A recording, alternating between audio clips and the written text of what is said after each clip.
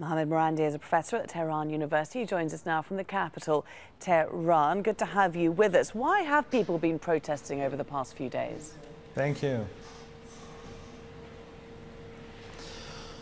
Well, there are economic difficulties in the country. Uh, the Iranian people, after the JCPOA, many of them had expectations that the economic situation would improve.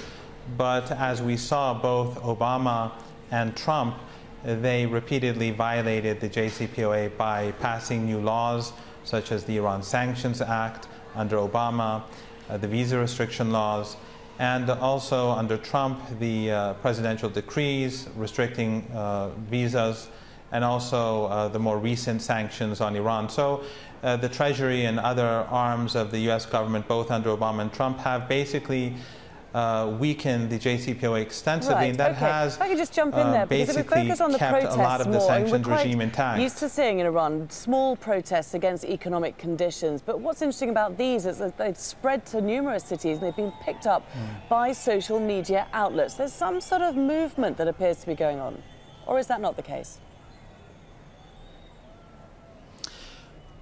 Uh, it's difficult to say because, on the one hand, the economic situation is something that exists across the board. But of course, uh, I think Iranians, while they're upset with mismanagement, but they also recognize that the administration is being uh, prevented from doing a lot of what it's trying to do because of the United States and its allies and the, and the sanctions that I mentioned. And of course, social media makes things uh, much more easy so people are, have information. But also, there is a fact that has to keep, be kept in mind, in that while some people have been protesting uh, economic problems, we do see a, a, very distinct effort on behalf of foreign governments. For example, BBC Persian, which is, uh, belongs to the British government, the VOA, which is uh, owned by the United States government, and media outlets that are directly or indirectly funded by the West. They are, they are uh, showing uh, an effort to uh, ex expand the protests. They're, okay. they're trying to uh, intensify them so, in, in order to politicize them. Okay, so well I think it's a combination I want to give an idea then how concerned the government is, because we do see uh, the government coming out and recognizing that these protests are about more than the, econ the economics of the country. I mean, we're hearing anti-government slogans, death to Rouhani, um, forget Palestine, no to Gaza, no to Lebanon, you know, uh, deriding uh, Iran's foreign policies. Mm. I mean, how concerned is the government about this?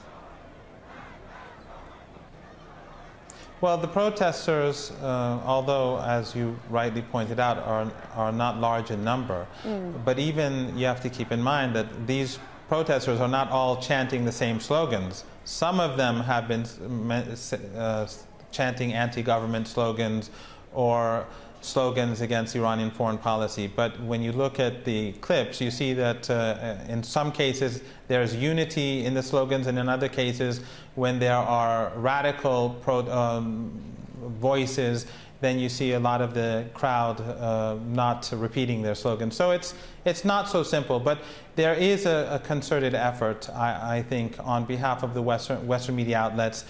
And, and I think this is something you have to keep in mind, that in Iran, every once in, whenever there is any sign of discontent, you will always have the think tanks and the Western media saying that the regime is about to implode and the regime is unpopular and the and we've been hearing that for 35, 39 I mean, years now. I, I do take your point there because it is uh, like quite interesting in uh, just how quickly the Trump administration has been jumping on these protests, warning the government not to react with a heavy hand.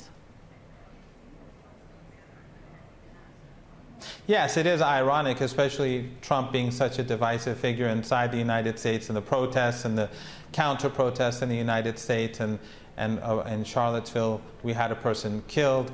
And on the other hand, we see that the United States is supporting Saudi Arabia in the destruction of Yemen and in mass genocide through starvation. We see the United States, uh, both under Obama and Trump, supporting extremist groups in Syria.